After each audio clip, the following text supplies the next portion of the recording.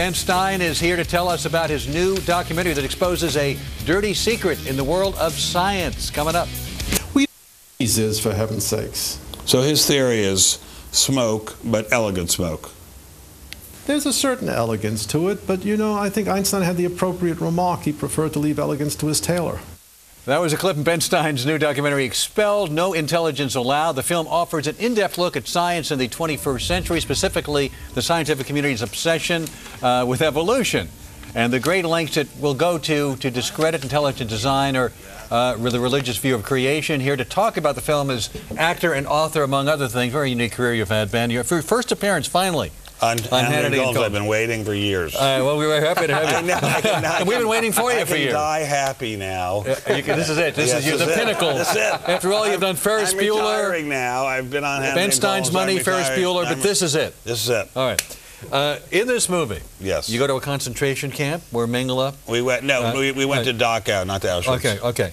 Uh, and you talk about Hitler influence being influenced by Darwinism. No doubt about it. Uh, why invoke cut. Hitler? What are you trying to say there? Well, our point is that uh, Darwin, this meek, mild-mannered sage of a country estate outside London, uh, had ideas which, when implemented, uh, uh, led to the Holocaust. He believed there were superior and inferior races. He believed that only fools would allow the inferior races to continue breeding. His followers and close friends in the United Kingdom said that meant we should start exterminating the Jews. Uh, but are you implying that if you believe in evolution and Darwinism, that there's a link to the way Hitler no, thinks not and today, there, is that what today, you're not to today's Darwinists. No, not at all today's Darwinists. I mean, the leading Darwinists today, like Dawkins and Dennett, those people aren't even remotely in that league. But Darwinism gave the rationale for the Holocaust. There had always been anti-Semitism. There had always been racism. But to apply the idea of exterminating whole races as a good thing, as a thing that was salutary for the human race, that came out of Darwinism, and it, it's a frightening thing. Yeah, I mean, but it's not what Darwinists or people who believe in evolution think. That's no way that any of us who may believe that are close or anywhere I near that. Couldn't so agree to imply more, that I couldn't, right. I couldn't agree. I didn't say. I didn't imply. You, you well, just, by bringing up Hitler and bringing up concentration just, camps you, in the film, just, aren't no, you? You just implied it, Alan. But that's what you do in the film. You no, bring no, up Hitler. No, no, we brought it up about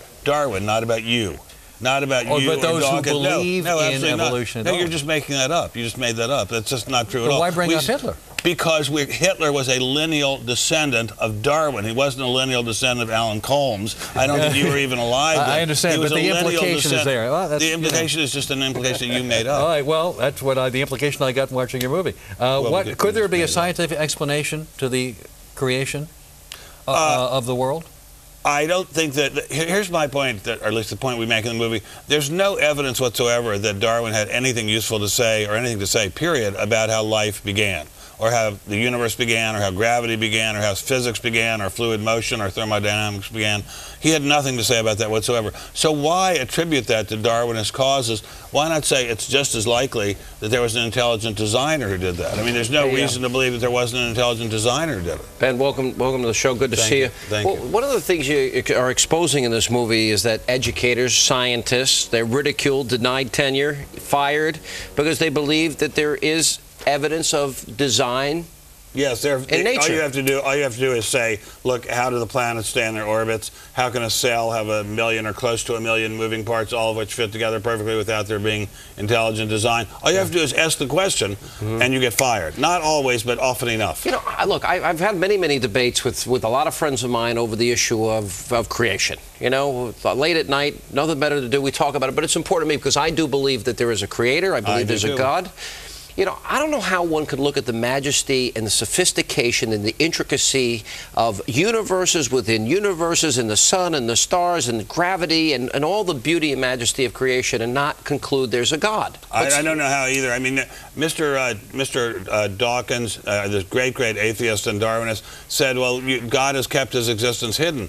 He says that in our movie. But it's not hidden. All you have to do, is look at the Grand Canyon. All you have to do is look at Lake Oreille in North yeah. Idaho. All you have to do is look at a sunset on the island of Manhattan or a sunset in Malibu, and you see the evidence of God all over. But to be an atheist, don't you have to believe that something comes from nothing? You have to believe that the universe originated in nothing and is rushing towards nowhere, and that just doesn't make any, any more sense. Let me just say, now people say to me all the time, but you have no scientific evidence for intelligent design, and it's true. We, we don't have a signature of an intelligent designer, except for the complexity itself is the signature. That it all could have, uh, uh, first of all, that it could have existed on its own, exploded in a, a massive explosion, and then with all the intricacy and Yes. sophistication of it all. I mean, the chance of it are minuscule. We have mathematicians yeah. who say the chance is nil. It Yeah. could not. It's simply as a matter of arithmetic, it couldn't have happened. Explain a little bit more about the film because I want to make sure people get a chance It's to a, see this. the movie is about uh, our is our plea for academic freedom and an end to academic suppression. About uh, people of people who believe in intelligent design or even a possibility of intelligent design.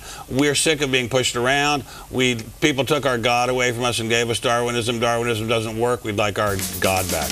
Well, we got all you got to do is look at nature. Ben, Thank good to see you, my much. friend. Thank you you for so being much. with us. Thank you. Appreciate it.